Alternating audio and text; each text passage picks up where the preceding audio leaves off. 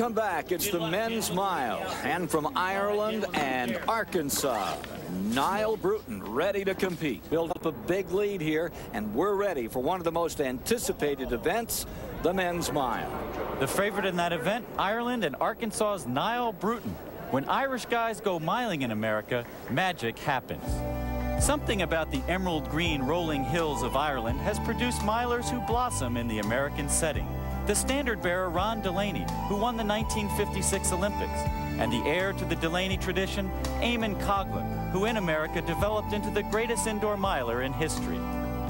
It's every young uh, lad's dream, as I say, lad over there, uh, to come to America on a scholarship.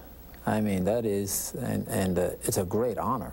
And everybody wants to, has dreams and aspirations. They want to be like someone. So, I mean, growing up, coming to as an a track and field athlete, I mean, obviously, I'd like to be like Eamonn Coghlan or somebody like, like that. Obviously, stick with someone in your own country, and it's, I mean, just nice to follow in their footsteps somewhat, so.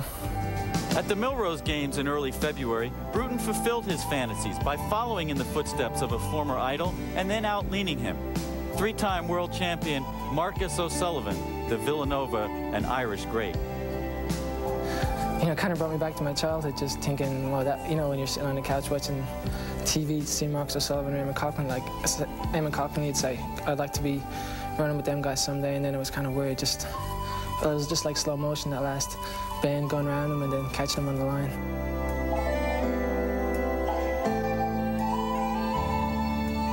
Irish papers now said that he may be the next great martyr, Irish martyr, and, and uh, he doesn't want to hear that right now. I, I, don't think it'd be good for him, but he's, uh, he, you know, he's thinking that way.